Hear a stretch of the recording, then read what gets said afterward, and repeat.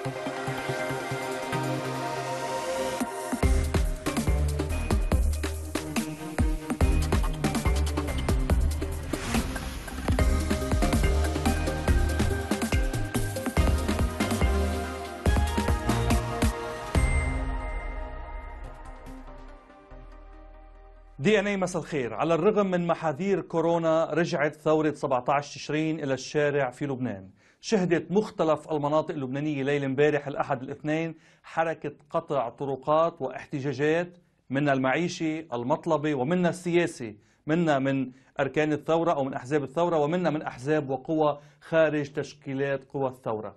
الحلو أنه الثورة رجعت بمواكبة من حكومة الثورة حكومة الشارع والأوادم والأخصائيين. آه مين قال لك؟ هلأ انوجد مجموعة وزراء. بمعظمهم أوادم وأخصائيين. إجوا بضغط من الناس والشارع. هيلا هيلا هيلا هيلا هو. جبران باسيل. ما كيف يعني حكومة الشارع؟ لك نشيد الثورة انعمل ضدك شخصيا. بس أبو الصوص شو خصها بهاي؟ ما فهمت. يقول يقول شو ما بده يقول يعني. الحكومة بتحاسبها على استقلالية خطابها مثلا. تعاملنا بواقعية شديدة مع الثقب المالي الأسود في لبنان. كان عليهم أنهم يدرسوا الواقع المالي ولا ينسد هالثقب الأسود. بواقعية ثمة معضلة تتمثل بغموض مريب في أداء حاكم مصرف لبنان. طبعا أنه المصرف المركزي لازم يتحمل مسؤولية كبيرة بالخسائر الواقعة عليه وبعدم شفافية أرقامه. إعادة, إعادة جميع, جميع الأموال, الأموال المحولة إلى الخارج, إلى الخارج تحت طائلة بطلان عمليات التحويل والملاحقة الجزائية. وبيرجع حدا بيقول لك هيدي حكومة جبران باسيل. أبدا هيدي جبران باسيل شخصيا. man ولك غيروا شوي بالعبارات بس شوي. حسيتها كأني عم بحضر دي فويس كيدز بمرحلة المواجهة. ثلاثة عم بيغنوا زيت الغنية.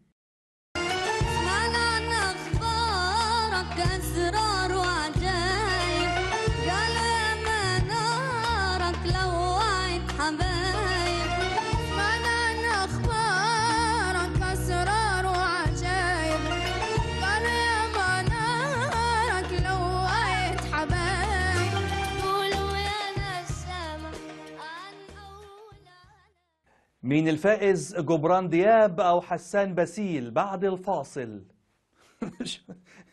بس لك كمان أبو سوس المهم المضمون المضمون خيي. بالمضمون الحكومة ومرشد الحكومة عم بيقولوا إنه أرقام حاكم مصرف لبنان غير مقنعة يا أخي. أنت مقتنع بالأرقام تبع احتياطي مصرف لبنان اللي أعطيها رياض سلامه لدولة الرئيس؟ رياض سلامه عنده liquidity أوكي يعني آه، مصاري بال آه، بالمصارف الأجنبية يعني شو عنده دولارات؟ عملات أجنبية. عملات أجنبية يعني مش Eurobond صح. مش آه، أوكي مش ذهب مش اسمه 22 من 22 مليار تقريبا.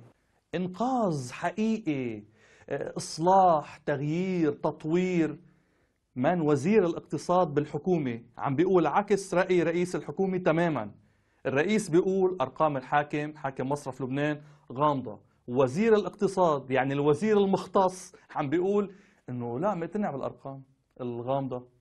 طب خيي كيف؟ كيف بنعرف خلي الحاكم يقدم ملف لرئيس الحكومة حول هذه الأرقام. رئيس الحكومة بيقول لك إيه الحاكم عم بيخبي الأرقام وما عم بيقدم لنا إياها. واذ مثلا مثلا عم بينقال كثير إنه مصرف لبنان ما عم بيعطي الأرقام تبعه. بعت لك الأرقام. عطى ملف هيك لرئيس الجمهورية. آه لا لرئيس آه الحكومة. الحكومة. وهيدا الملف مع كل الأرقام فيهم يوصلوا لهم المستشارين ويستعملوهم للخطة اللي عم بيعملوا لنا إياها. تفضل. هيدا مش نايب معارض مش صحافي أو معلق أو ناشط هيدا وزير الاقتصاد. يعني الزلمة اللي معني بهالملف. عمليا عم بيقول رئيس الحكومة كذاب والحاكم مش عم يخفي الأرقام وقدم ملف وأعطى كل الأرقام. طب مين بنصدق رئيس الحكومة أو وزير الاقتصاد السابق؟ إيه السابق؟ لأنه يعني سجلوا كلامي ما عادت مطولة أيام وزير الاقتصاد. طب كيف بنحدد المسؤوليات؟ المصيبة كبيرة الكارثة كبيرة كيف بنحدد المسؤوليات؟ بدي رئيس الحكومة يقول لي كيف منحدد المسؤوليات. أو المرشد.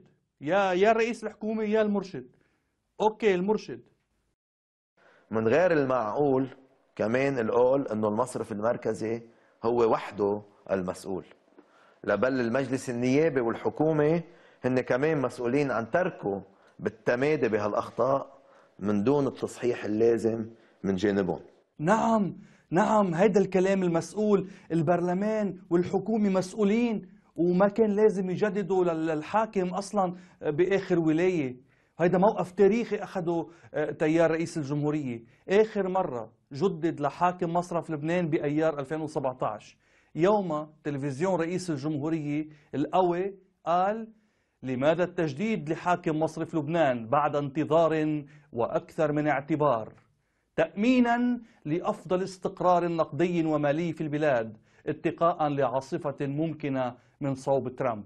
تلفزيون رئيس الجمهورية شو عم بيقول؟ جددنا للحاكم تأمينا لأفضل استقرار نقدي ومالي بالبلد. اليوم شو عم بيقول؟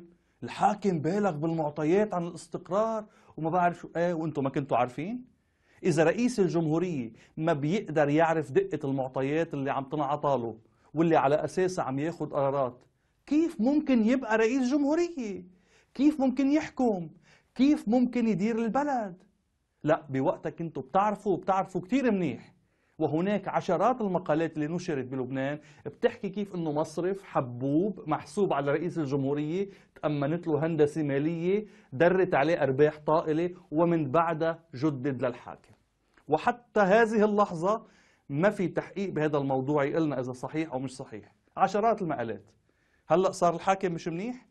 طيب صار اللي صار ووصل لبنان إلى ما وصل إليه. كيف بيتم تحديد المسؤوليات ولمين؟ بدي رئيس الحكومة يقول لي كيف بنحدد المسؤوليات؟ أو المرشد. يا الرئيس يا المرشد. أوكي المرشد. الدولة بقضية تحمل الخسائر هي المسؤولة أولا وأخيرا على الوضع يلي وصلنا عليه. وما بحق لها اتهام لا المصارف ولا المصرف المركزي تتهم وتنقى بنفسها وكأنه ما لها دخل. فهي اللي سمحت بهالسياسات الفاسدة. ولكن الدولة مسؤولة برجالاتها بسياساتها وبالأشخاص يلي استلموا المسؤوليات فيها. فأساس الدولة أو حصتها من الخسارة لازم تكون برجالاتها. تحميل المسؤولية لرجالات الدولة آه، اللي أنت قاعد معهم بالحكم من 2009 مقررا في الكبيرة وفي الصغيرة مسقطا حكومات ومشكلا حكومات موزرا ومستوزرا من 2009 ليك إلا إذا أنت منك من الرجالات. هذا غير موضوع. إلى اللقاء.